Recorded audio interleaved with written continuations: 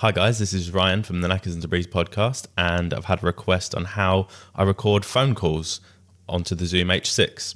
And this is how I go about it.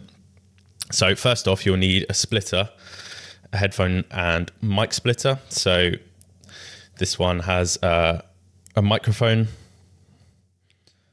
symbol there. I don't know if you can see it. And this one has a headphone symbol and this goes into your phone. I'm just using a tablet because I'm recording on my phone. And so you want the audio out of your phone coming into the XY mic here.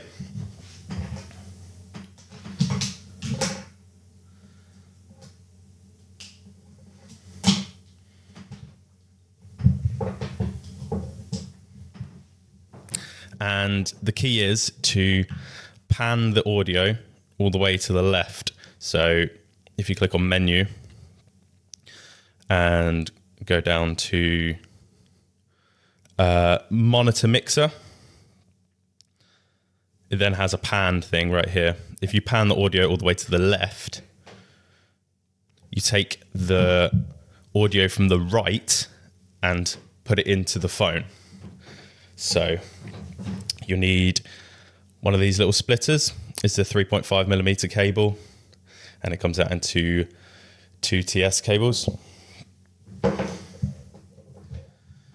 And if you're panning the audio all the way to the left, you want one of these mono TS cables, not one of these stereo ones. So the mono has one ring here, the stereo has two little rings here.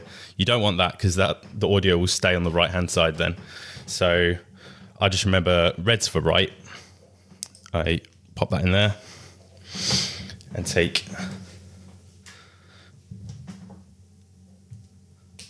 the audio from the right hand side and this goes into the mic section. And now to hear everything that's coming out of the H6, you want another one of these and that goes into the left, which then your headphones go into. You don't want to do this on the line out because they will hear themselves as an, as an echo. But if you do it in the headphone jack, you can split it. You can still hear yourself and them, and they will only hear you. And it, it works for all four ports. So make sure they're all arms for recording, and away you go that's how to do a mix minus on a Zoom H6 with a phone call. I've, I've heard one too many would you rather questions, and I myself turn to drive the, uh, off the bridge. Yeah, yeah. I'm just straight into oncoming traffic on the M2 across the, the middle embankment, straight to the other side. uh, is that funny? I, I, don't know. I don't know if it's funny. I don't think it is. Well, it made me Apologies. giggle. Apologies to anybody who uh, who's been affected.